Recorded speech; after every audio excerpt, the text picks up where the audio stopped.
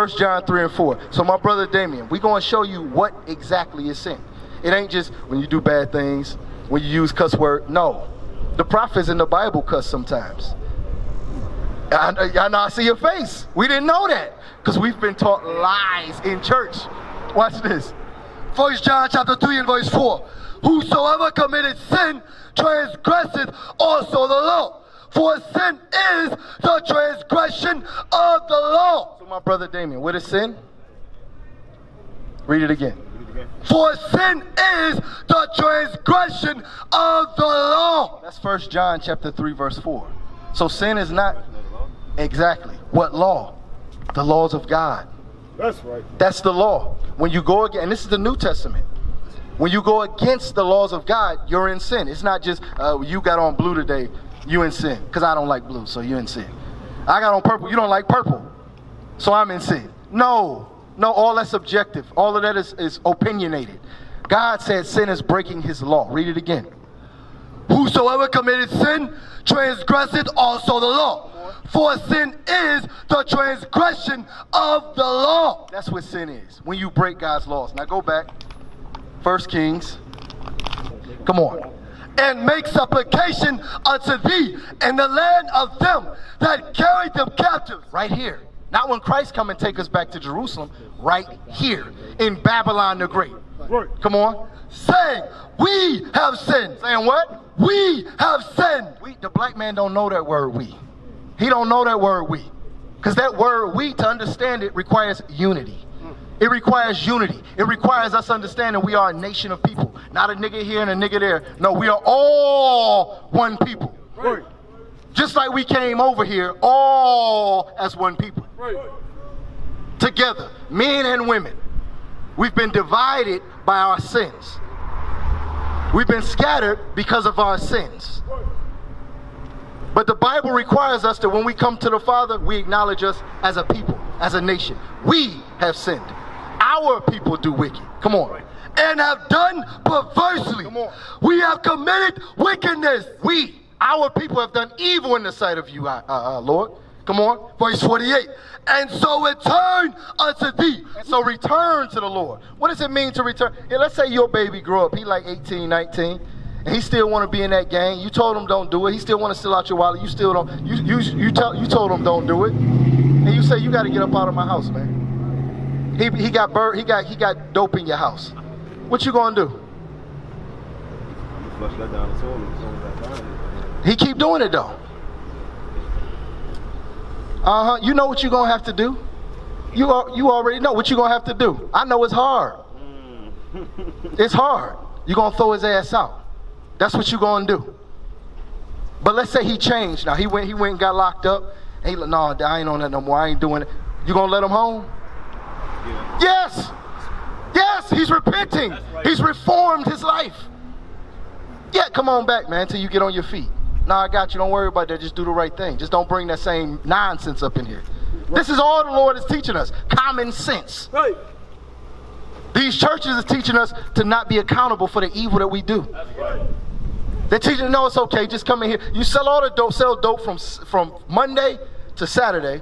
Then come in here, pay your tithes with the dope money, and you good again. Then you next week do it again, and then again, and then again until you die, and all your ki- kids die doing the same thing. Bring it out. That's why our people. That's why our communities have not changed.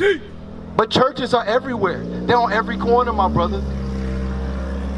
It's hard to find somebody that ain't either either in Islam or Christianity.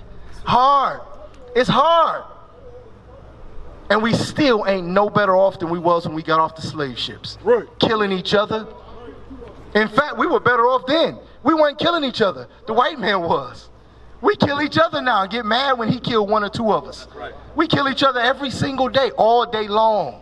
Lady going to a funeral today. That's what she just said. Somebody murdered somebody right down the street. Going to a funeral today. You heard about that? Yeah. That's common. That's commonplace in our communities.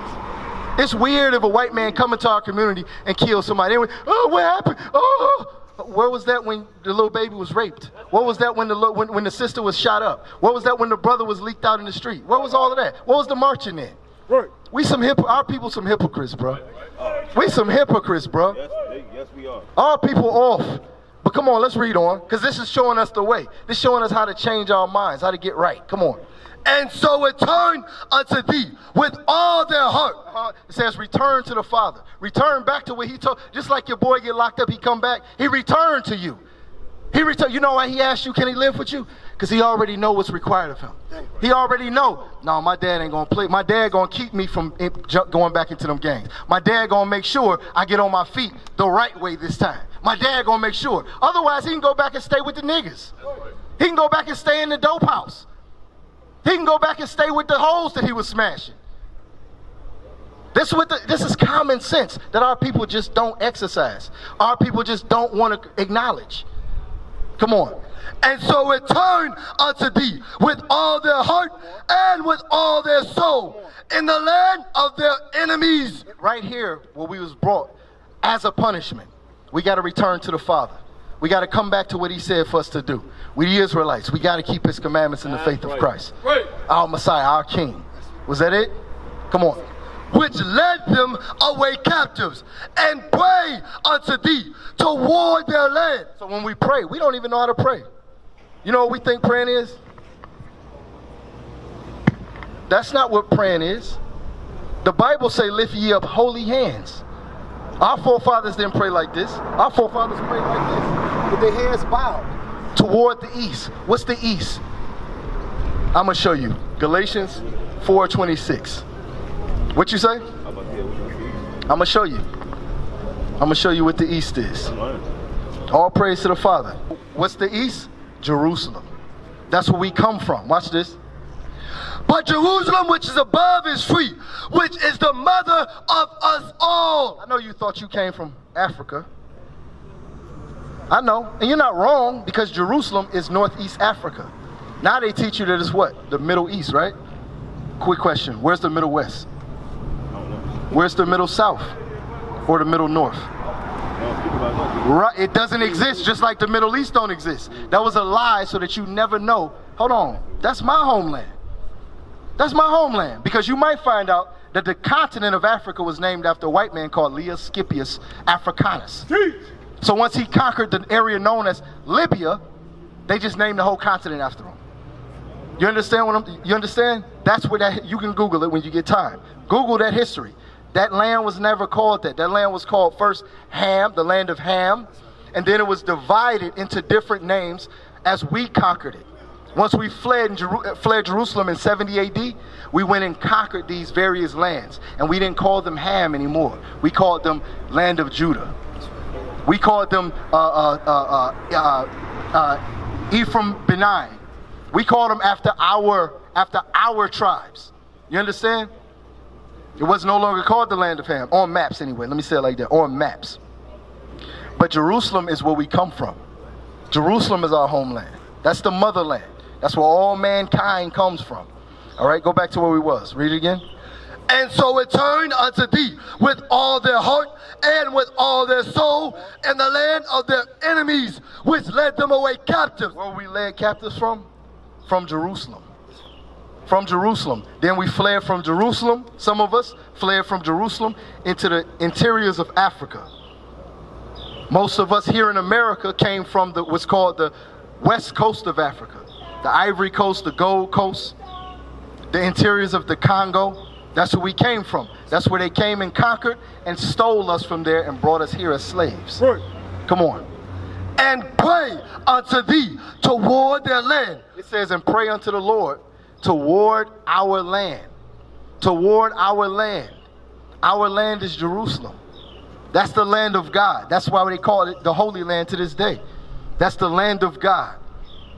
So when we pray, you got to teach this to your baby. When we pray, we face the east. We face Jerusalem when we pray. Before, when you wake up in the morning, you send the prayers up with your baby. When you go to sleep at night and you send the prayers up with your baby, you face the east. That's how Israelites pray. That's how God said for us to pray. Come on. which thou gavest unto their fathers, the cities which thou hast chosen, and the house which I have built for thy name. The house that he has chosen is Jerusalem. That's Israel, the land of Israel. It's a little bit different than what we see today. It's bigger.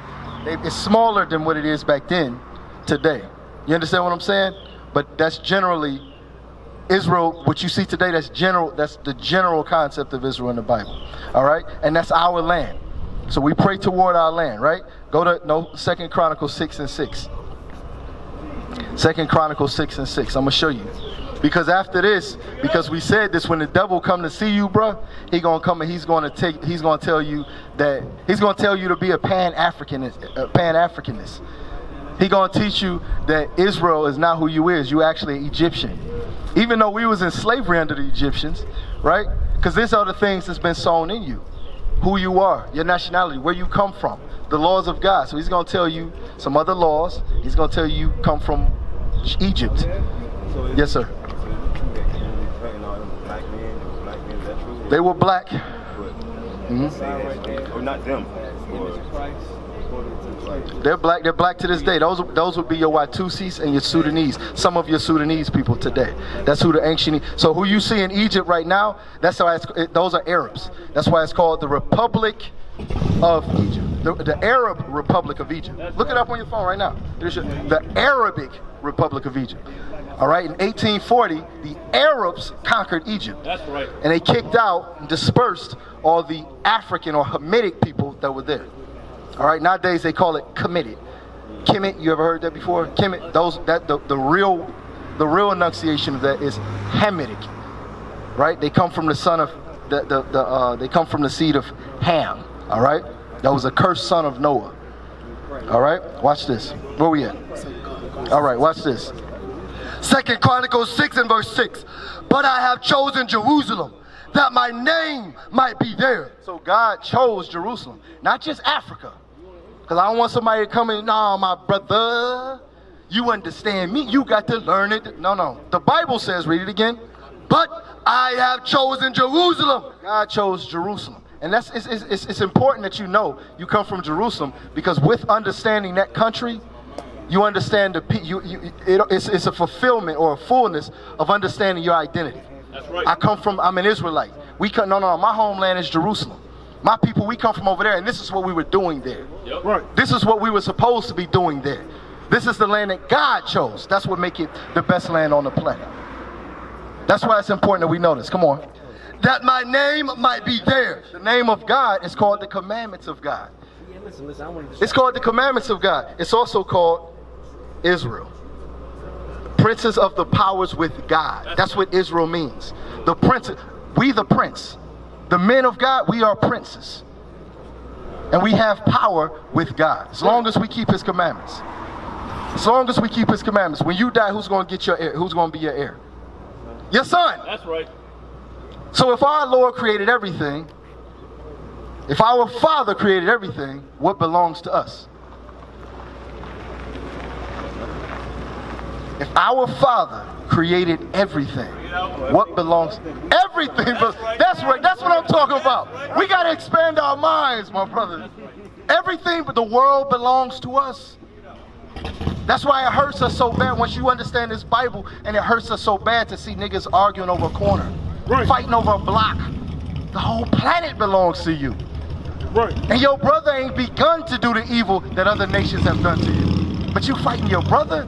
He fighting you for the same reason. He fighting you for the same reason you fighting him. Cause none of, cause both of y'all broke. Right. Both of y'all don't know a better way. But the planet belongs to you. We don't understand this book. Come on, read it again.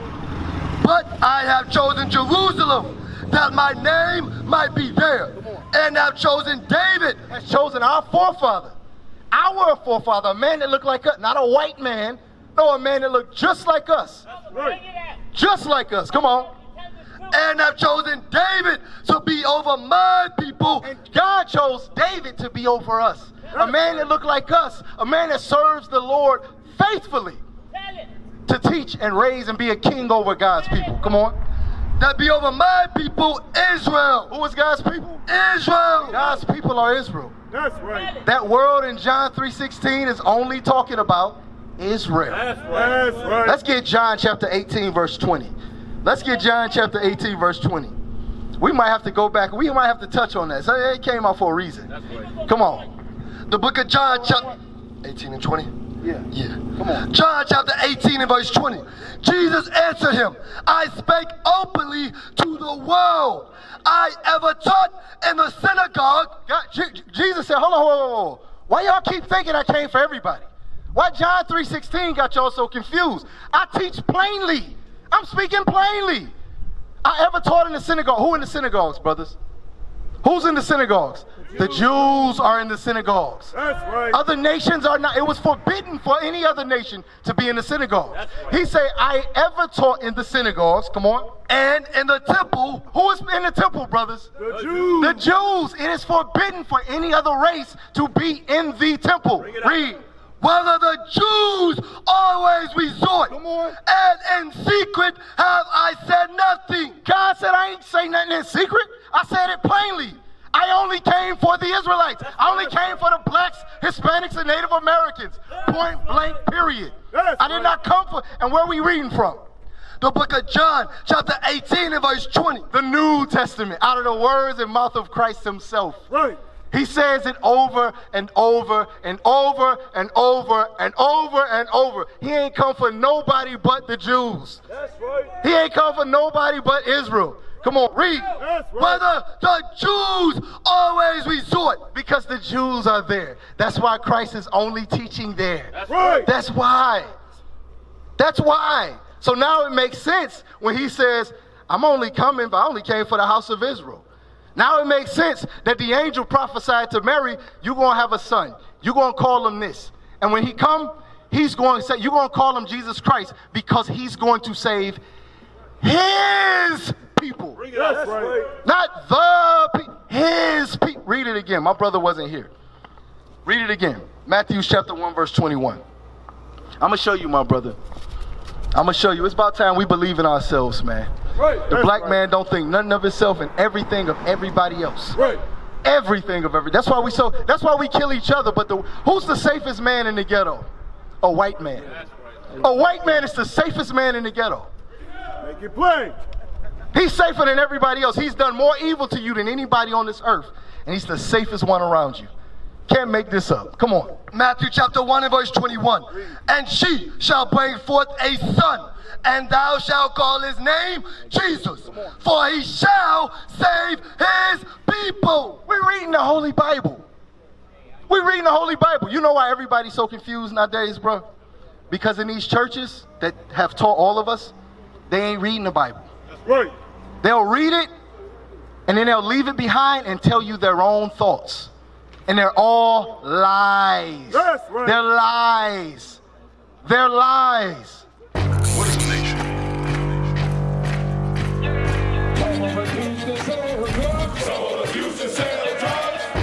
Nation is men leading by example.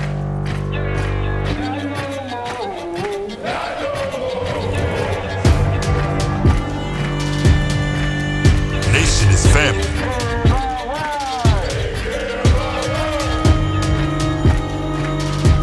Nation is community. Is children with role models.